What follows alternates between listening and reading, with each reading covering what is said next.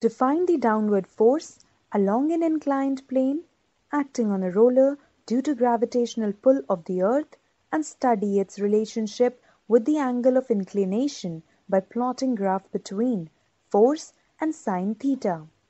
The inclined plane consists of a smooth plane hinged to a base so that it can be set at any desired angle. Consider a heavy metal roller connected to a scale pan by a light extensible string passing over a frictionless pulley resting on the plane. The component mg cos theta of the weight acts normally downward on the plane, balances the upward normal reaction, say R, of the inclined plane. Madam, how can we find downward force along an inclined plane? If total weight W1 is equal to m1g moves the roller up and total W2 is equal to m2g moves the roller down, then downward force acting on the roller along the inclined plane W is equal to W1 plus W2 divided by 2 is equal to m1 plus m2 g divided by 2. This force W must be equal to mg sine theta, that is, W is equal to mg sine theta, where mg is the weight of the roller. For same roller, mass m is constant, therefore, W is proportional to sine theta. Therefore, a graph drawn between W and sine theta must be a straight line. Let's do an experiment to measure diameter of a given wire using a screw gauge.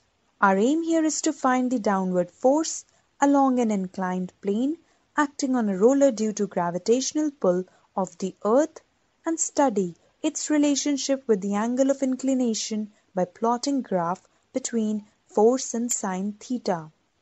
Materials required are an inclined plane, a trolley or roller, pan, weight box, spring balance, spirit level, strong thread, half meter scale. Procedure First of all, determine the least count and zero error of spring balance. Find the weight of the roller and pan separately by using spring balance. Loose the nut and place the inclined plane on the table and make it horizontal using spirit level. In this state, the pointer should read 0 degree on protractor. Now check the pulley. If it is not free from friction, then oil it. Take a thread of suitable length and tie its one end with the roller and other end to the pan. Pass the thread over the pulley and through the slot in the base. Raise the inclined plane and fix it at a certain angle, say theta. Put the weights on the pan and increase them gradually till the roller just starts moving upward with uniform velocity on tapping the plane gently. Note the weight placed in the pan. Now go on decreasing the weights placed in the pan until the roller just starts moving down with uniform speed on tapping the plane gently. Note the weights placed in the pan. Repeat the experiment several times by increasing the angle of inclination each time by s degree. Record all observations in a tabular form. Observations Least count of spring balance is equal to x gram weight. Zero error of spring balance E is equal to x gram weight. Zero correction of spring balance minus E is equal to x gram weight. Observed weight of the roller W0 is equal to x gram weight. Corrected weight of the roller W0 is equal to mg is equal to W plus C is equal to x gram weight. Observed weight of the pan P0 is equal to x gram weight. Corrected weight of the pan P is equal to P0 plus C is equal to x gram weight. Angle of inclination theta, sine theta 1 30 degree 0.5 2 35 degree 0.57358 3 40 degree 0.64279 4 45 degree 0.70711 5 50 degree 0.76604 6 55 degree 0.81915 7 60 degree 0.86603 W sine theta is equal to mg sine theta gram weight.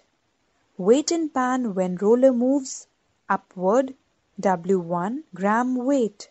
Downward W2 gram weight.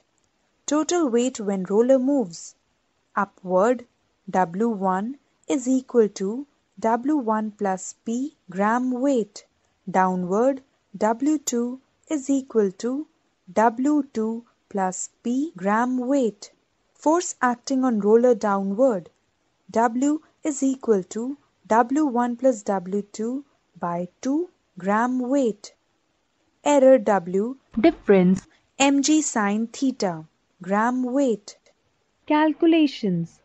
Plot a graph between w and sine theta taking sine theta along x axis and w along y axis the graph between w and sine theta is a straight line it verifies that W is proportional to sine theta.